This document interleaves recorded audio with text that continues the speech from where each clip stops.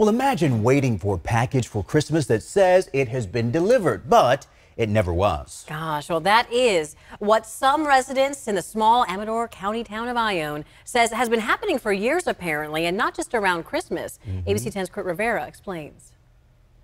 Amid the quaint holiday decor lining Main Street in Ione, its U.S. Post Office is enveloped in anger with some of its longtime customers. It's extremely frustrating. We count on it as a form of communication. Dove Cardenas has lived here 16 years. Using only a post office box, she says a passport she ordered never arrived. There are frequent deliveries with wrong addresses, and packages that say they were delivered never were.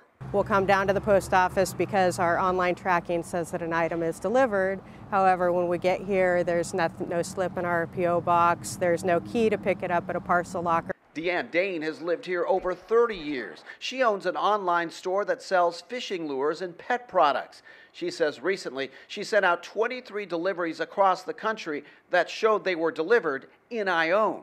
I had lots of really irate customers that were contacting me, where's my package? Why is it showing delivered? And Dane says the post office lobby hours are sporadic. I came in again on December 19th at 3 o'clock and they were closed again. One Ione resident who wouldn't go on camera told me postal workers sometimes work up to two weeks straight, 16 plus hour days.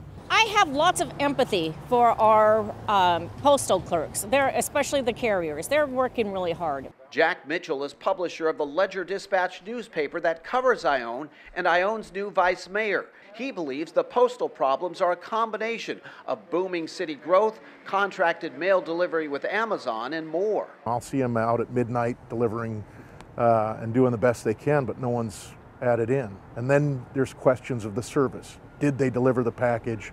Was it stolen? Bottom line, everyone we spoke to agrees more workers are needed to help stamp out the consistent complaints.